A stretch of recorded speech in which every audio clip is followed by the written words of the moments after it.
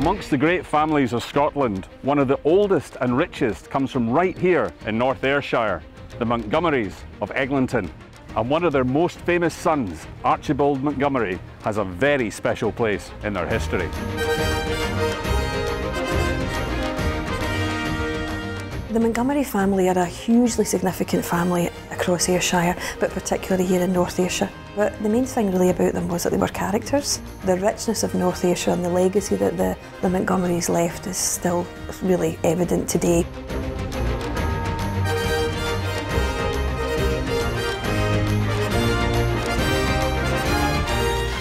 When Queen Victoria was crowned in 1838, many people in Britain were both annoyed and frustrated that it had all been done on the cheap. In fact, it became widely known as the penny coronation. But this inspired Archibald Montgomery to hold his own shindig, the party to end all parties, the Eglinton Tournament. Notice went out far and wide that a grand tournament would be held in August 1839. And this is where it was all to take place, the once magnificent Eglinton Castle.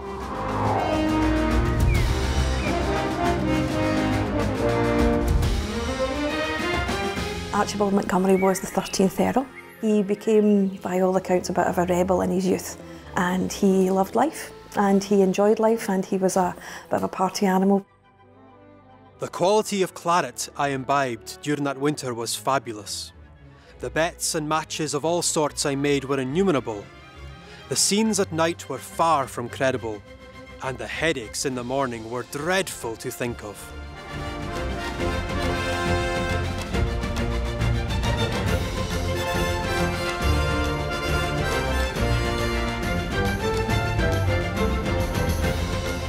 The Eglinton tournament was to be a medieval affair with jousting, banqueting, and knights in shining armour.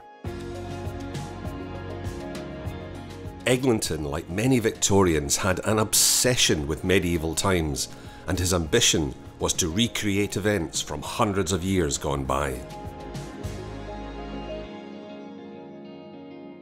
Word quickly spread around the world about this amazing tournament. If you were very rich, you could come along and compete as a knight, but anyone else was welcome to come along and watch the fantastic spectacle for free. Originally, the Earl hoped that about 4,000 people would come to attend his great tournament, so he got quite the shock when over 100,000 people turned up at his castle door. He had 150 people set up ready to come to compete now, once reality kicked in and they realised the expense of tailor-made suits of armour, horses, etc., 13 people did decide that they would come, that they would compete, and they were going to have a good shindig. Although there weren't as many knights as Eglinton had hoped for, the public were gripped by tournament fever and arrived in their droves from all over Europe, many in medieval costume and all looking forward to a spectacular show. Unfortunately for them though, Eglinton's tournament could never have coped with the vast numbers that turned up on the day.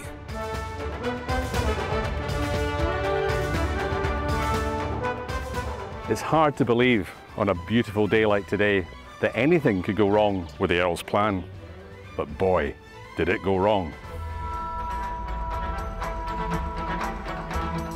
With the cream of Britain's aristocracy standing in their finest armour and tens of thousands of spectators watching on, there was a flash of lightning, a roll of thunder, and the heavens opened.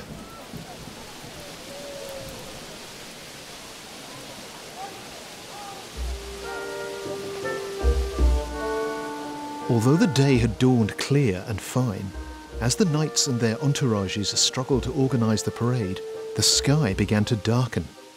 Just at the moment when the parade was finally arranged, just as Lady Seymour, the Queen of Beauty, was heralded by trumpets, there was a flash of lightning, a great crash of thunder, and the black clouds of Ayrshire let loose with a sudden and violent rainstorm. The whole event was a washout.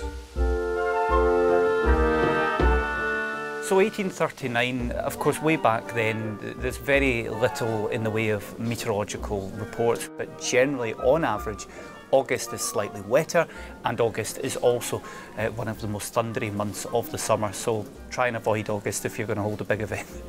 On a typical summer's day when we get thunderstorms, it generally does start off dry, sunny, warm, and then you get those clouds bubbling up around lunchtime into the afternoon. That's when those storms tend to be most lively, and of course that was the case in this event. Over the years, we have seen T in the Park, uh, TRNSMT, we've seen these become a complete washout, sometimes these big music festivals and big outdoor events, but then sometimes they get lucky and it falls during a, a really hot, dry and sunny spell. So that's just the way it is in Scotland for uh, outdoor events. The party of the century had become a sodden fiasco.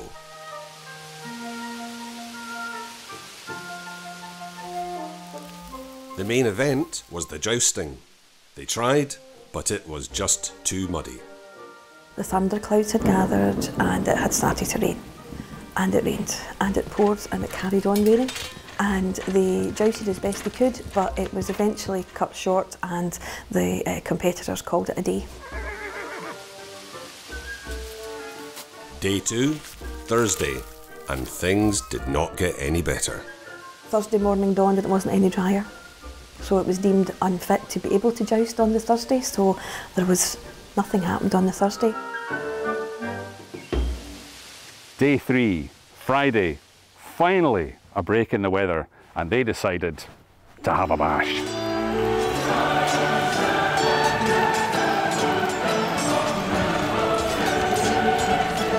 The highlight of this shambles of a tournament was the melee.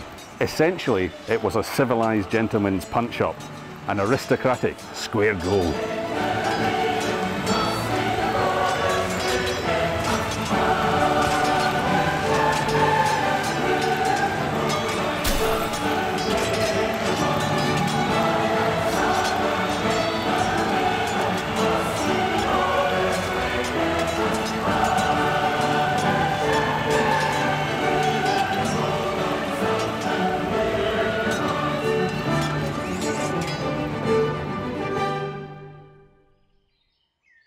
No two ways about it, the tournament was a massive disaster. There was no food and no beds for the guests, and none of the events had gone off as planned. It was undoubtedly the biggest, the most expensive disaster in Scottish party history. But you know what? We're still talking about it. People who did compete in the tournament, a few years after the tournament, decided that they were not going to be downtrodden, that despite it having been three days of rain, they were still going to have an amazing trophy. The knights clubbed together and presented the Earl with a spectacular gift, as seen here in a rare photograph. And this is the magnificent, the wonderful Eglinton Trophy.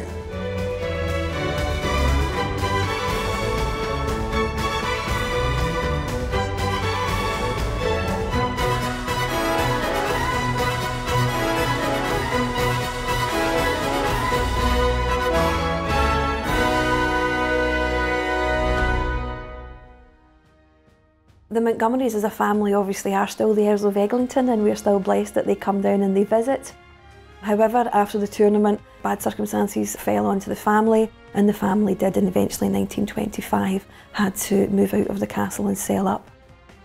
Mother Nature took its toll, weather beaten, the castle genuinely fell into to disrepair and went to rack and ruin. So the remains that you see today is what was left of it. They moved from here up to Skelmorlie Castle. The tournament hadn't gone the way that the Earl wanted. It nearly bankrupted the family and eventually led to the ruin of this once great castle. It wasn't the party he planned, but what a story.